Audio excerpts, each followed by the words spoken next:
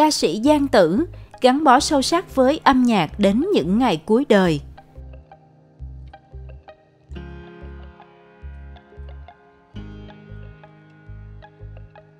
Ca sĩ Giang Tử, sinh ngày 1 tháng 2 năm 1944, mất ngày 16 tháng 9 năm 2014, là một ca sĩ nhạc vàng người Việt Nam nổi tiếng từ trước năm 1975. Những thông tin được tổng hợp từ các báo như Nhạc xưa, Thanh niên dưới đây sẽ cho chúng ta hiểu thêm về cuộc đời và sự nghiệp của ca sĩ Giang Tử. Giang Tử tên thật là Nguyễn Văn Giang, ông sinh năm 1944 tại Hải Phòng.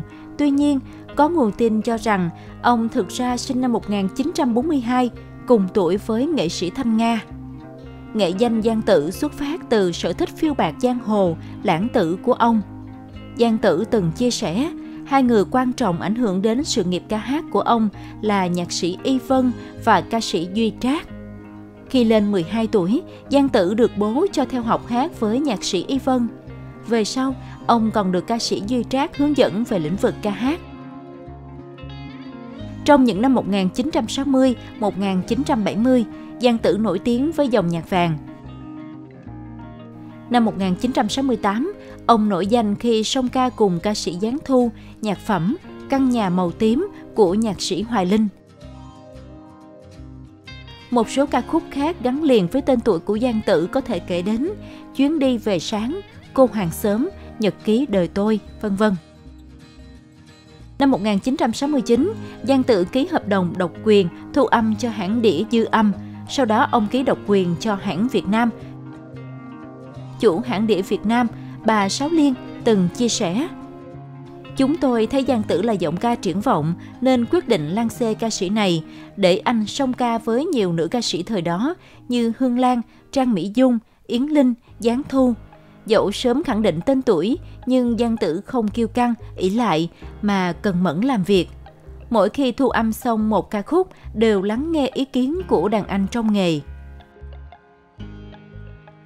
Trước năm 1975, Giang Tử hầu như tham gia gần hết các đoàn ca nhạc thời đó, nhưng ông gắn bó lâu nhất với ba đoàn, đó là kịch nói Kim Cương, Hương miền Nam, Siết tuổi trẻ. Nghệ sĩ nhân dân Kim Cương chia sẻ, Thời đó, trước khi diễn kịch đều có thêm những tiết mục ca nhạc. Giang Tử được khán giả yêu thích với nhiều ca khúc của nhạc sĩ Phan Huỳnh Điểu như Thư tình cuối mùa thu, Anh ở đầu sông, em cuối sông.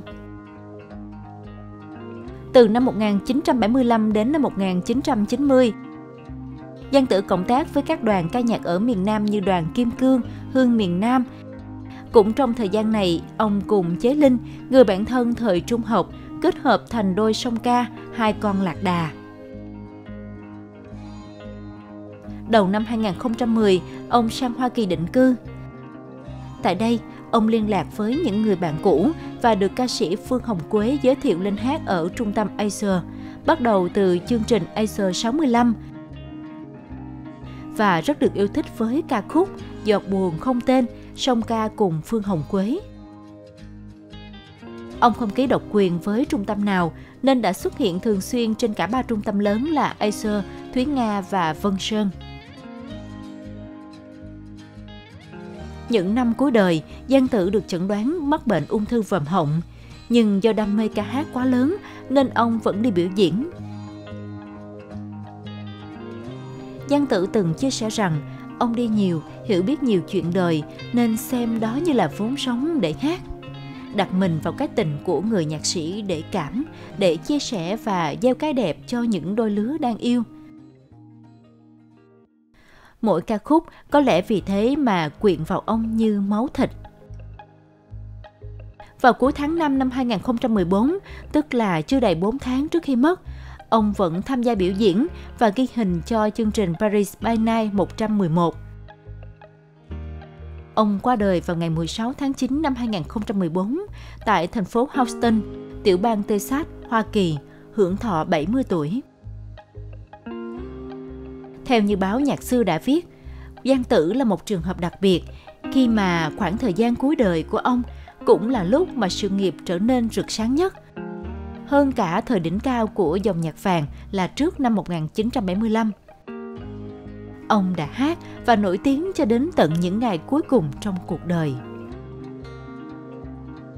Đời sống gia đình Giang Tử là con cả trong gia đình có 8 anh chị em, bố mẹ là thương gia. Giang Tử có 4 người con, ba người con gái và một người con trai, nhưng không ai theo nghệ thuật chuyên nghiệp. Chính ông cho rằng nghề ca sĩ nhiều khó khăn, nay đây mai đó, nên cũng không khuyến khích các con theo nghề hát mà chuyên tâm học văn hóa. Năm 2017, gần 3 năm sau khi ông qua đời, người con trai duy nhất của ông là Nguyễn Lê Trương Đông đã tham gia cuộc thi solo cùng Bolero và vào đến vòng chung kết. Chúng ta hãy cùng điểm lại những ca khúc được Giang Tử thể hiện thành công và đến ngày nay vẫn được khán giả tìm nghe. Giọt buồn không tên, sáng tác Tô Giang. Thành phố sau lưng, sáng tác Hàng Châu. Những ngày xưa thân ái, nhạc sĩ Phạm Thế Mỹ. Đưa em vào hạ, nhạc sĩ Trầm Tử Thiên. Trường cũ tình xưa, sáng tác của Duy Khánh. Chuyện ba người, một sáng tác của Quốc Dũng, thơ Xuân Kỳ.